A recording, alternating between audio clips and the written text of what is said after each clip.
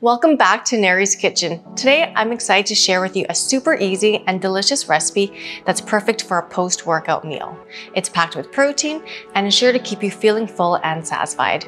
This recipe is a great alternative for those who are looking for a vegetarian option to fuel their workouts. Let's get started.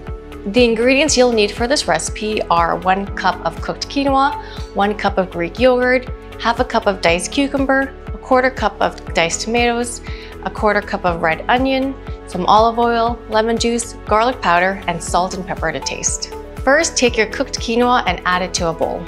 Next, add your diced cucumber, tomatoes, and red onion to the quinoa. This combination of vegetables is not only delicious, but also adds a good source of vitamins and minerals to your meal. In a separate bowl, mix together your olive oil, lemon juice, garlic powder, salt and pepper to make a dressing.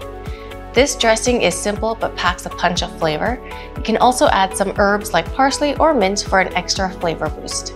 Then pour the dressing over the quinoa and vegetables and toss it together until everything is well coated. Finally, take your Greek yogurt and add it on top of the quinoa mixture.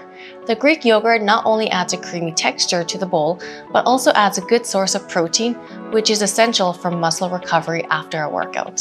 And there you have it, a delicious and protein-packed Greek yogurt and quinoa bowl that's perfect for a post-workout meal.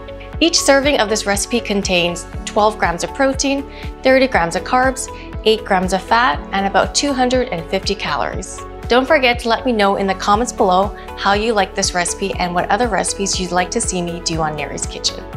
Also, don't forget to share this recipe with your friends and family who are looking for a healthy and delicious post-workout meal.